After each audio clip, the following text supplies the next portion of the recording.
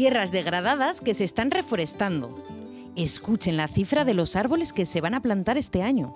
En Aragón, esta campaña del 21-22, se van a plantar unos 450.000 árboles. En varias localidades de Aragón. Estos árboles los vamos a plantar en Ariza, que estamos ahora, en Bubierca y en Miedes, que ya hemos terminado, ya hemos plantado en Miedes. Y ya se pueden imaginar lo que esto significa. Lo que van a aportar es la absorción de CO2 y además unos bosques diversos y autóctonos de, de la zona donde estamos plantando. Pues nosotros somos Land Life Company y nuestro propósito y nuestro objetivo es eh, restaurar y recuperar la biodiversidad de 2.000 millones de hectáreas a nivel global.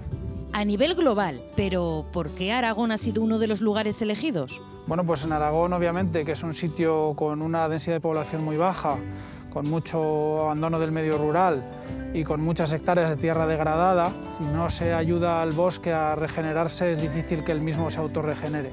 Y aunque los resultados más visibles se vean a largo plazo... Yo creo que son tangibles del primer momento porque cada arbolito de estos va a estar ya mejorando ese suelo, mejorando la captación de agua, retirando CO2 de la atmósfera, favoreciendo esa mejora de la biodiversidad.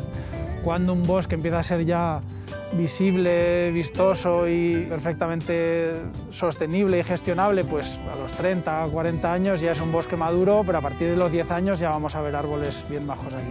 ¿Quieren saber qué tipo de árboles son los que poblarán este paraje? Son 10 especies concretas, todas autóctonas de aquí de la zona. Aquí tenemos un enebro, esto es una sabina, Juniperus turífera, aquí tenemos cornicabra, esto es un roble, casi no pasa ahora, pero es un quejigo.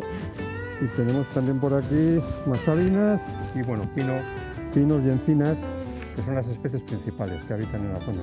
Una iniciativa que parece que ha tenido muy buena acogida. Esta iniciativa es importante, vamos a plantar árboles. La importancia de los árboles para la especie humana es tremenda. Nos aportan oxígeno, nos fijan el suelo, regulan el, regulan el clima, infinitas ventajas.